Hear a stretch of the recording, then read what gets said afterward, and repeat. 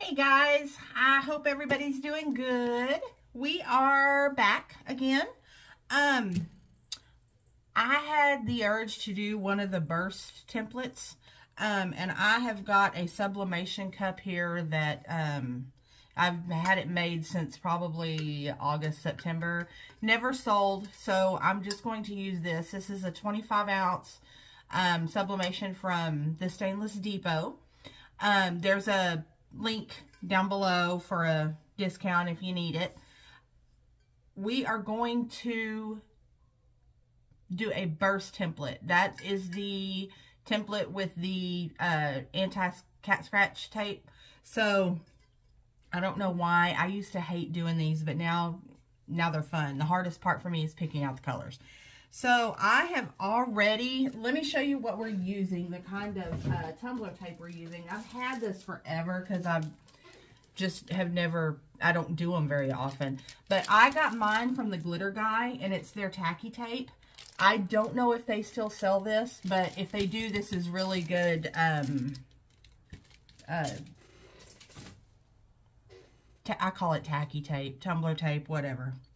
So I have already cut my template. I got this template off of Etsy, and I will put a link below where um, I got it. It's a really cool, really cool template. So I have already cut this, and I cut this on my Cricut using the washi tape setting. So, and it using the washi tape washi tape setting with this tape works, or this, um, yeah, this tape works really good. So it works perfect. Um, all these little marks that you see on here is where I have labeled what, what I'm going to do. So, like I'm using foil and two different glitter colors. I'll show you those here in just a second. So, I've labeled like what I'm going to do. Like the M is Midnight, the C is Cottage Core, and the F is Foil. So, when you use the foils on these, all you have to do is literally just foil. You just lay the foil down, scrub it on, and I'll show you that here in just a second. So this is what we're going to use. Um, I have got this beautiful gold and black like holographic foil. This is from Southern Belle Glitter and I'll put a link for her down below. I do not have a code for her, but I'll put a link down below. She is the best foils ever. I love them. And then we're going to be using my favorite black, as everybody knows, Midnight from PDB. And then I'm going to use Cottage Core from PDB because it's a gold glitter, but it's got like a holographic, I mean, it's, it's got like, I say holographic, it's not holographic, it's got like different colors in it. So, um, we're going to be using that. And that, I think that will match the, like the holographic tone. And then I got, I have a regular just gold glitter. Um, I don't think I'm going to use it, but just in case, it's West Coast from Glitter Heart Co. So this is my favorite plain uh, dark gold glitter. So my favorite gold glitters are West Coast from Glitter Heart Co. And you can probably hear my cat. She's yelling at me. Um, and then Glitter Heart Co. has one called Champagne. That's a light gold. My favorite golds. So um, that's what we're going to be using. So I'm going to move you down here real quick and then we will get started. I've got to lay some butcher paper down on my table because it, it obviously, it's glitter, it makes a mess. So we're going to do that real quick and I will be right back. Okay guys, we are back. I have just laid down some butcher paper, um, got my template ready. I'm going to do the foil first, I believe. Um, and I did forget to mention, make sure when you do these, make sure you measure your cup really, really well um, it, it almost has to be exact to get the edges to match up. So uh, let's get started on this. Let me grab my... So I think I'm going to do the foil first. Now, I've never done foil on one of these. So, now the way this tumbler tape works is it is, it's it's got a sticky film and then it's got this paper on top of it. So when you pull up this, this paper, it's going to leave, hopefully, it does what it's supposed to do. It's going to leave this sticky right here. So we're going to take a little piece of our, let me just cut a piece off of here because this foil can get out of hand.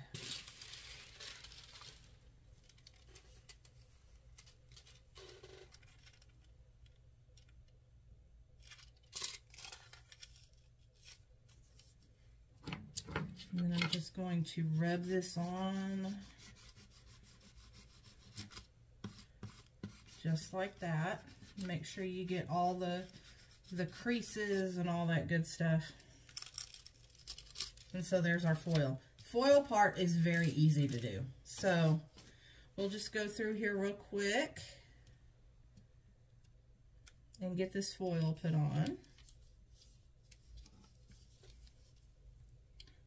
And the hardest part for me is getting the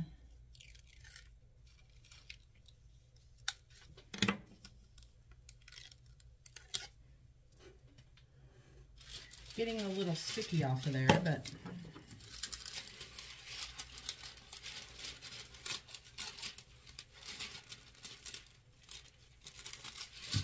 y'all have never bought anything from Southern Belle Glitter, she sells more than just foil, but if you've never bought anything from Southern Belle Glitter, oh my gosh, she has some absolutely gorgeous foils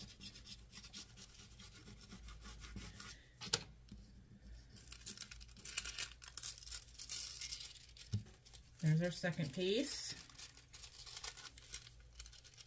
I think I have enough for that there.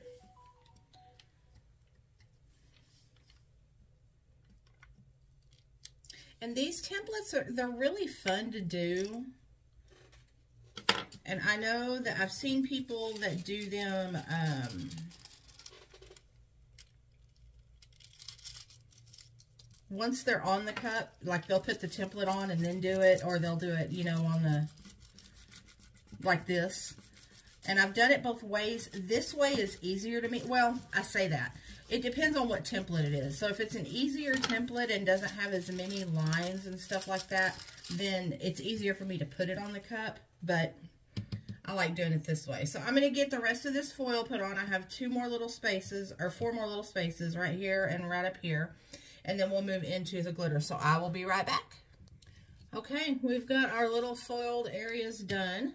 So um, what I'm going to do now is the glitter. And this is why it's it's important to me. It may not be to you. I mean, I may you may not have a hard time with these. Sometimes I have a hard time with these. But you want to start with your, uh, it's important, that's why I labeled these. So we're going to go with our darkest color first. We want to do the darkest color first. So I'm going to peel up the ones where I put the M, because that's where the Midnight's going to go, which is a black glitter.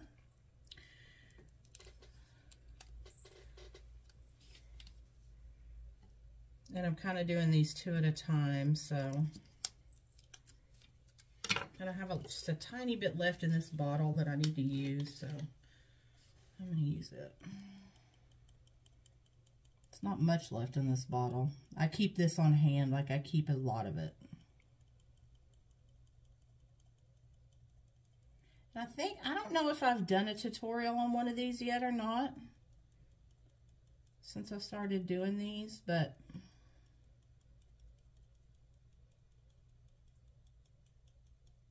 that is about gone. So, and then I'm, I'm going to take and I'm going to rub this in. So, you don't have to, but it, it just makes me feel better if I do. So there's our black.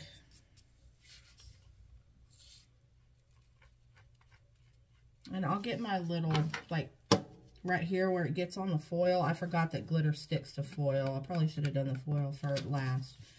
But um, I'll just try real hard not to get it on the rest of it. So this is what I do. Um, that's all that was left in that little bitty black bottle. I'm just going to, don't hate me, I'm going to vacuum it up.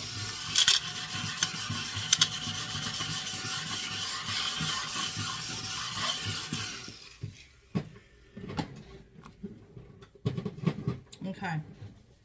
Now we'll go on to our next one here.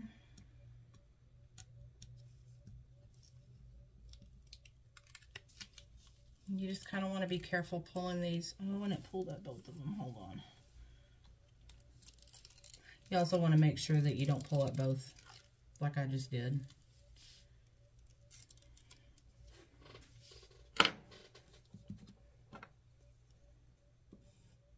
And I try not to touch that sticky unless I have to, so...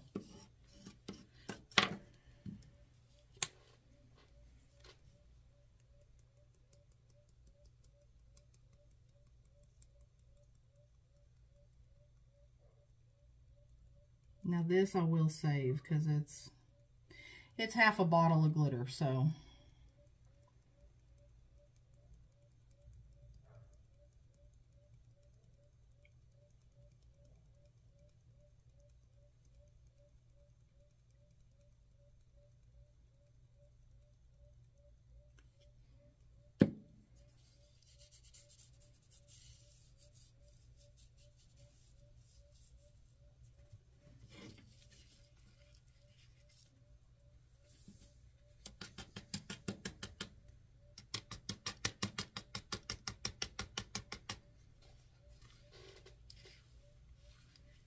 There's that black.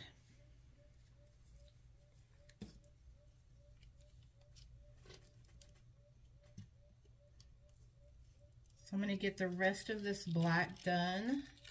And then we will come back and get started on that gold. I, I really just wanted a minimalist, like, uh, tumbler template this time like I said, the hardest part for me is picking out the colors of the, the colors I want. So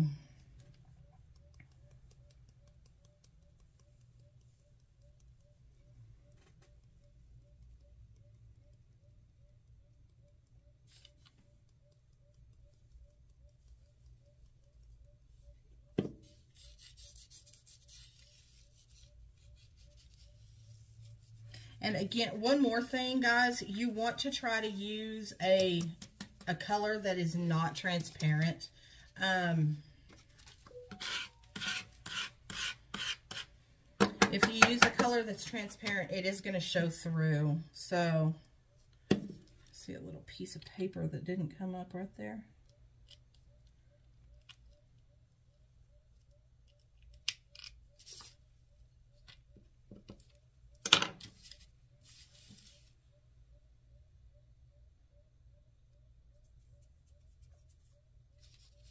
Okay.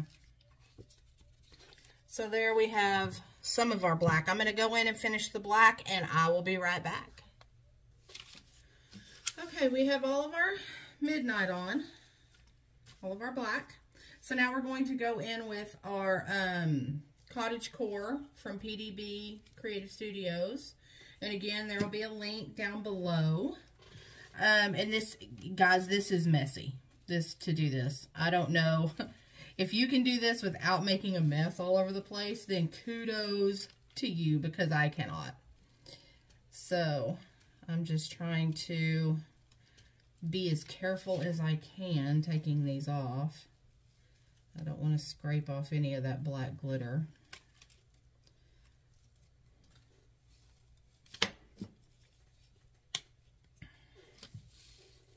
And it shouldn't I'm not mistaken, it should not stick to the black.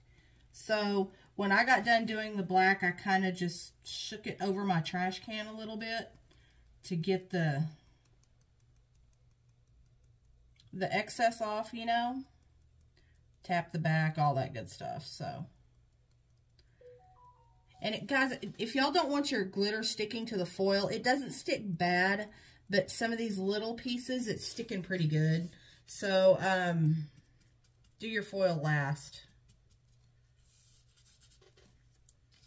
And uh, this time I put down a piece of, of parchment paper. So, okay, that color is not going to work. So I may have to do both of these. I may have to do the West Coast and then put the cottage core on top. So let me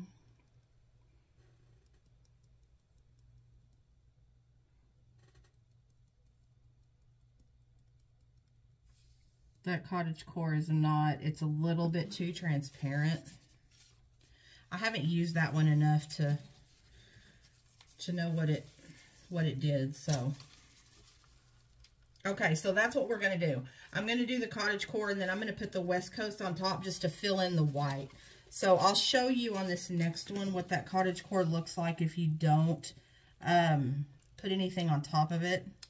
Uh, and I know I'm mixing glitters down there. I'll just throw them in my in my glitter stash. But let me, I'll show you what it does. It's just not quite dark enough. There's too much transparent glitter in here. So, but it's okay. We can use two. You can still see that cottage core through the West Coast. You can still see all those different little holographic-y looking colors. And this is why you want to do your, your dark color first. If you had a white glitter down on this, it would get stuck in that black. So, I'll see if I can get up close here and show you what it looks like. But see, you can still see some of that white paper through that. So if we stick the West Coast on top of it, which is not a transparent glitter, it'll fill in, it'll kind of fill in the, the holes there.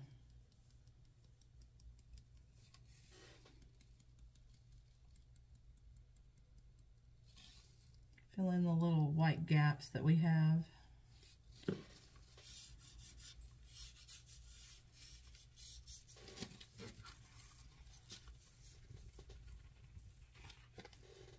So, see, it fills in, it fills in, I don't know if you can tell or not, but it does fill in the, the white quite a bit.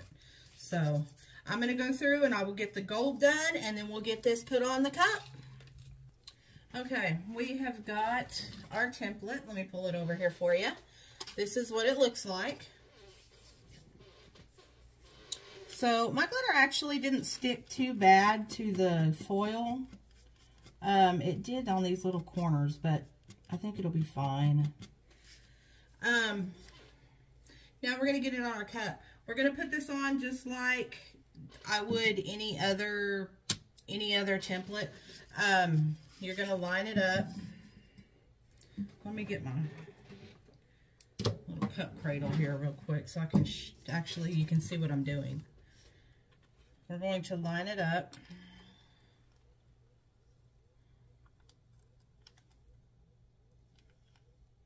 And just make sure, and it does get kind of messy putting it on.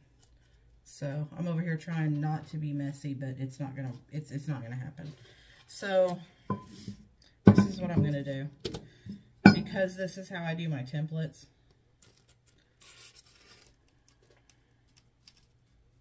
I'm gonna swing it around here. And you wanna make sure that your edges are matched up like that. So make sure that all of your lines are even and they all match up. Now, it, with that being said, if they don't, um, it's not hard to fix. So we're going to let that fall there. And I should have cut an edge off of the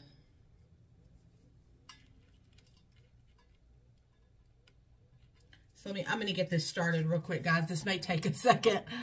Okay, I had to pull up a little piece so we can do the hinge method. Um, and I almost was thinking that I had to uh, paint my cup, but I think it'll be fine. Okay.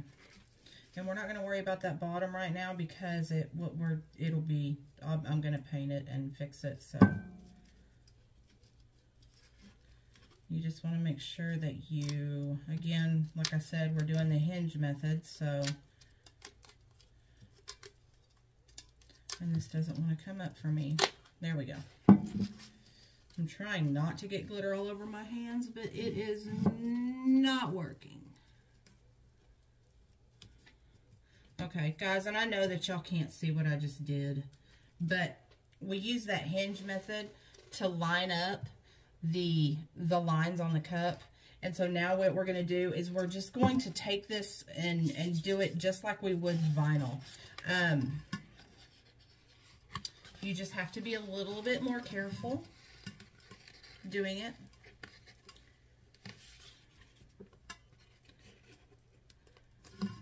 So I'm going to peel back as well as I can this little area right here. There we go. And I'm going to use my hand. I'm not, I know that y'all seen me before use my, um, my little craft squeegee thingy. This time I'm just using both of my hands and I'm very, very carefully trying not to rub off any of this glitter. I'm just kind of going back and forth and pushing that white paper off. So again, once it's on your cup, if you do rub off some of the glitter, it it's going to be okay. You can go back and touch it up. So I'm just trying very hard not to get any wrinkles or creases or, you know, making sure that it goes on straight. So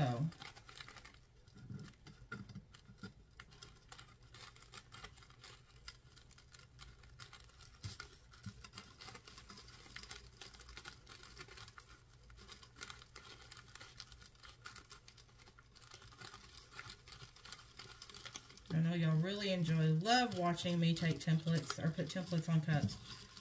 But since I can't use my... Okay, if you have an overlap right here, you're going to want to cut that. I don't have an overlap. I cut it almost exactly even. And again, like I said, it's going to be covered up with vinyl anyway, so it's not, it's not a huge, huge deal. But you just want to get those lines as even as possible. Um,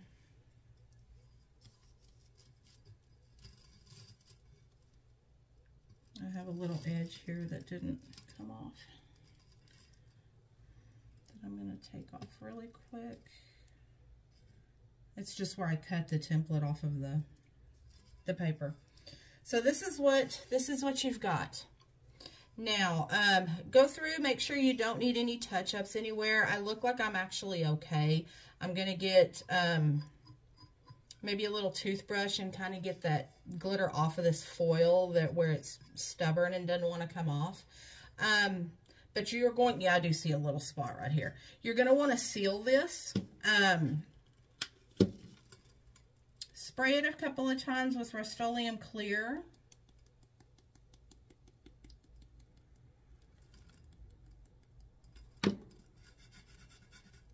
You're going to want to spray it a few times with Rust-Oleum Clear, let it dry dry off really good.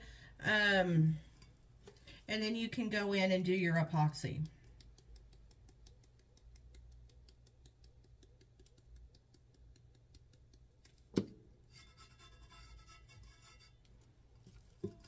So I do see a couple of spots, and this is really all you have to do to touch it up.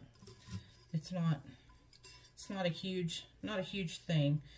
So, but that's what we're left with. So I'm going to go ahead and get this sealed. Um, I am going to actually seal mine, I think, with a with um, I'm out of clear spray paint. But I'm going to seal mine with um,